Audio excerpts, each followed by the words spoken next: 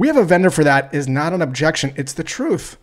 No matter what you sell, people are getting the job done without you. They're getting from point A to point B. So, to loosen your prospect's grip on the status quo, you need to shine a light on a problem that your prospect might not know about with finesse.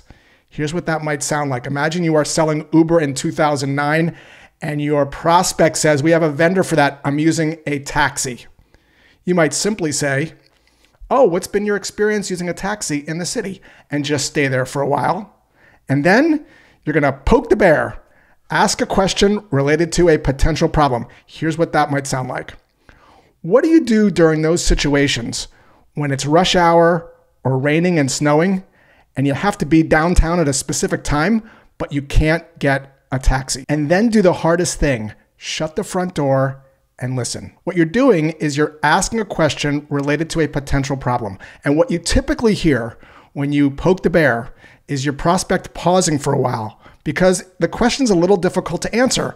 And they scratch their head and think, hmm, I'm not sure. I guess I wait out or I, I get stressed. And from there, you've created an opening.